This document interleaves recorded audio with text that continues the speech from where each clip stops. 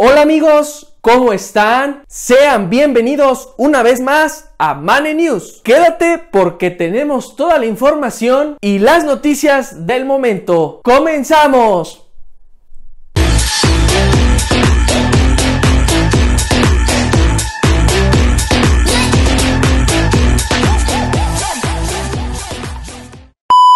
Amigos, y como todos sabemos, ha estado en tendencia la serie del juego del calamar. Subió 200 puestos en los últimos 5 días en Netflix a nivel global y ahora es el segundo show más popular en toda la plataforma. A nivel mundial, amigos, esto es impresionante. ¿Hasta dónde ha llegado una serie coreana? ¿A poco no es sorprendente, amigos? Díganme si ya la vieron ustedes. La verdad sí está muy padre.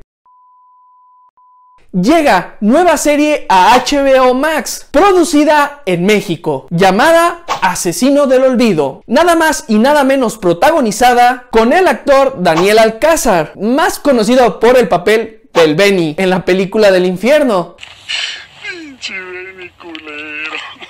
Se estrenará el 7 de octubre, amigos. ¿La verán?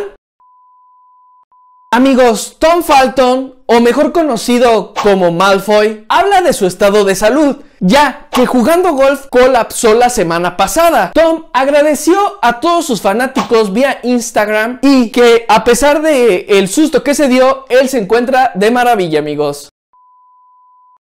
Melissa McCartney aceptó dar vida a Úrsula porque es su villana favorita de Disney. La Sirenita Live Action es una película muy esperada de Disney, así que esta actriz ha tomado lecciones de canto para el famoso papel y hace poco se confirmó que la cinta se estrena en mayo del 2023. Aún falta mucho tiempo, pero la esperamos con ansias amigos.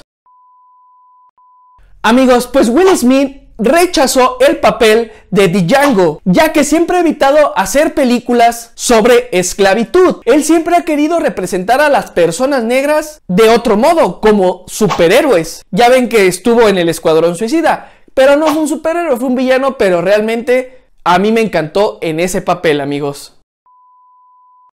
Amigos, pues llegamos al final del video del día de hoy. Espero que te haya gustado. Gracias compártelo con tus amigos, te los voy a agradecer y comenten aquí en la cajita de los comentarios, activen la campanita, les dejo mis redes sociales aquí abajo y nos vemos en un siguiente video amigos. Bye.